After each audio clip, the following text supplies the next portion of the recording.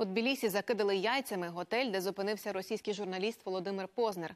Мітинг організували представники і прихильники опозиції. Вони вважають неприйнятним прибуття до Грузії представника російської пропаганди.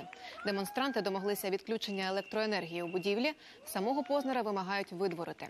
За інформацією місцевих змі, телеведучий планував відзначити у Тбілісі 87-й день народження.